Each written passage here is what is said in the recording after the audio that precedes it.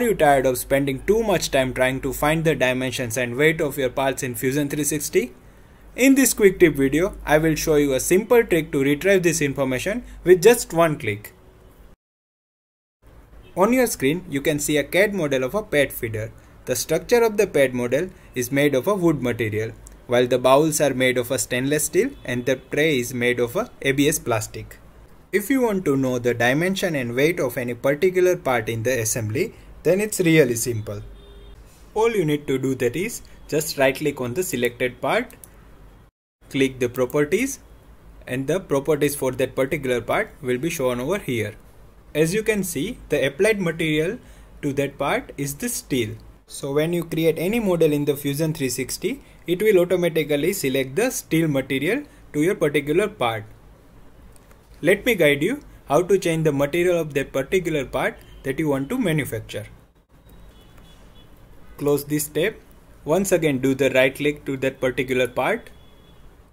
Go to the physical material tab and the variety of the material will be shown over here. You can choose the relevant material from the list.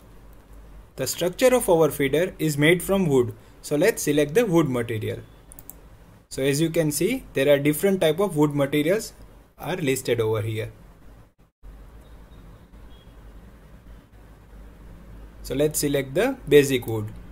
Just hold the left click of your mouse and drag that material to the particular part and the new material will be applied. Now let's close this window. Let's once again right click on the part, go to the properties As you can see, the material is now changed to the wood. The weight of that particular part will be shown over here 692 grams and you can know the overall dimension of the part from the bounding box like length, width and height is mentioned over here. Similarly, you can do that for all of the part. You can open the physical material tab from the quick search bar. Hit the S button on the keyboard, write physical material and click on the physical material tab and the physical material window will be open. Our structure is made of the wood so we will apply the same wood material to the whole structure. Bowls are made of the stainless steel so let's select the stainless steel from the metal window. If you scroll down you will get the stainless steel polish just hold your left mouse button and drag this material to the bowl. The trays are made of uh, a ABS material.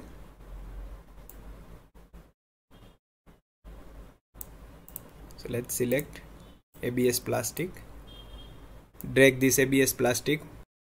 Let's close the tab and let's once again check the materials.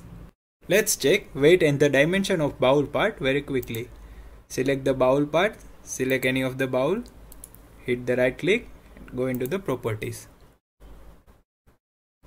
so as you can see material is stainless steel polished weight of the bowl part is around 500 gram bounding box dimension means length width and height of the bowl is shown over here similarly if we want to check the dimension and weight for that tray keep that properties bar open and just select the components from the browser menu.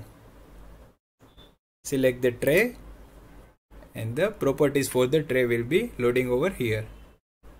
So tray material will be ABS plastic, the weight of the tray, the overall dimension of the tray.